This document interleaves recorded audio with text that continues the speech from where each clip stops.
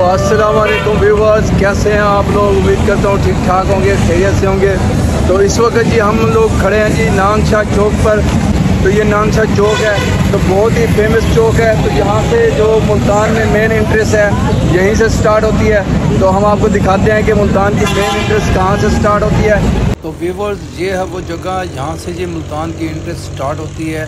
تو آپ دیکھ سکتے ہیں کہ یہ ہم لوگ اس وقت پل کے اوپر ہے تو آگے جا کے آپ کو دکھاتے ہیں کہ ہمارے رائٹ ہینڈ پہ بھاول پور چوک کا راستہ ہے اور لیفٹ سائڈ پہ جو ہے نا وہ دریائے چناب کا راستہ ہے جو مظفر گڑھ جاتا ہے۔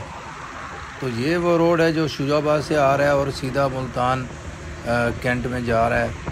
اور نیچے آپ دیکھ سکتے ہیں کہ یہ جو روڈ جا رہا ہے، جو مین روڈ ہے، جو مظفر گڑھ کی طرف سے آ رہا ہے۔